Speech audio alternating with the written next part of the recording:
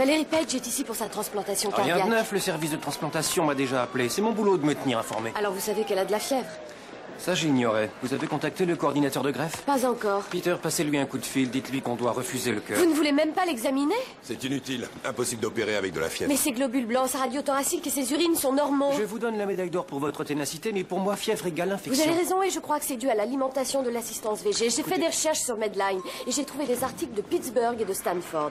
Le traitement, c'est donner des antibiotiques, retirer le système et greffer le nouveau cœur.